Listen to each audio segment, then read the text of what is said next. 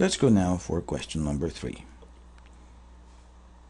For VT, the threshold voltage, half a volt, mu n uh, times COX is 250 microamps per volt square, and the form factor is given only in part. The length of the channel is the same for both transistors. They are absolutely the same. Is one quarter of a micrometer.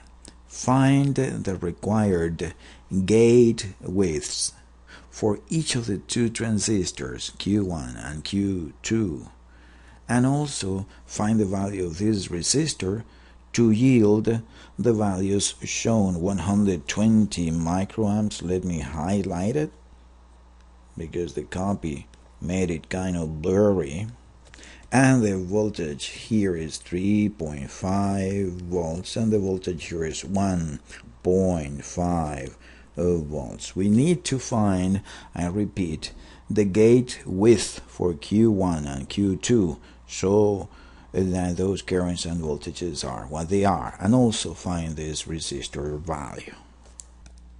Let's concentrate on this uh, diode connected transistor at the bottom. The current in this uh, conductor is 0 amps. The current in this conductor is also 0 amps. It's the gate current of a MOSFET. That means that this current, the drain source current for this transistor is 120 microamps. Let's write that current 120 microamps. That is equal to 1 half Kn that multiplies this voltage minus Vt squared because it's the same. Remember, it's 1.5 minus Vt, the threshold voltage, which is half a volt, 0.5, and all of that squared. Well, this is 1 squared. Well, that means that Kn has to be 240 micros. Mm. And so what?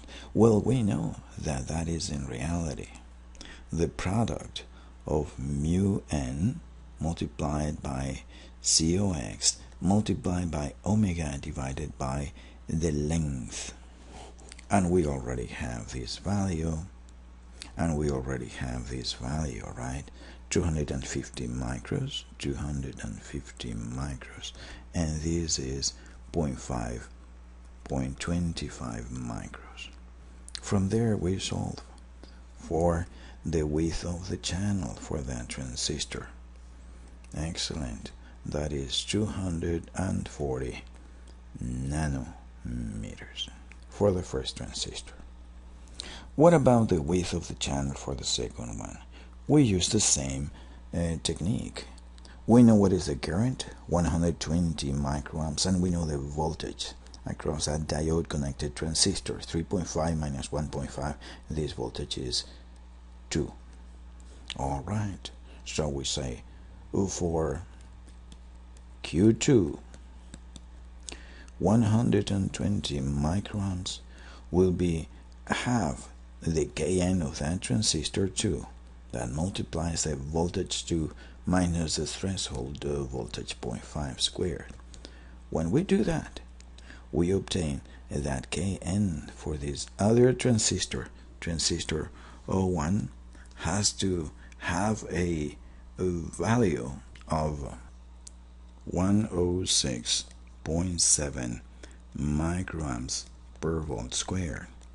And that has to be again to this expression that is that is equal to 250 micros that multiplied W, the width of the channel, divided by the length of the channel, which is the same for this transistor.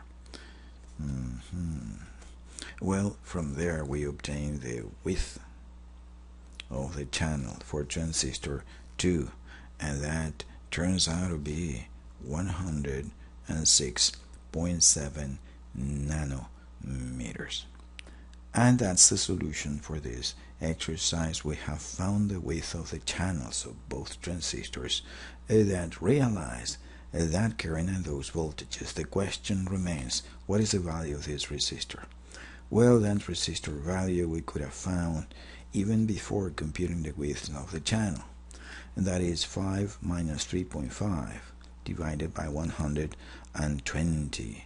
Let me repeat 5 minus 3.5 volts divided by the current 120 microamps, which is 12.5 kiloohms. And that completes the solution to this exercise.